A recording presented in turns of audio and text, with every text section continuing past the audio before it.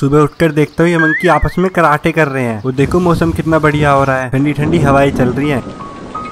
फिर बहुत तेज बारिश आने लगती है। तो देखो प्लूटिंगो डर रहा है, बिजली कड़क रही है। फिर मौसम थोड़ा साफ़ हो जाता है। तो फिर हमारे घर बहुत सारे मंकी आ जाते हैं। बेचारे बारिश में भूखे घूम रहे होंगे। तो फिर मैं इनको थोड़ा थोड़ा सबको कुछ न कुछ खाने को देता हूँ। फिर ये मेरे हाथ से ही छीन कर ले जाते हैं। तो ये देखकर प्लूटिंगो को गुस्सा आ जाता है। फिर एक मंकी का बच्चा प्लूटिंगो को परेशान करने लगता है।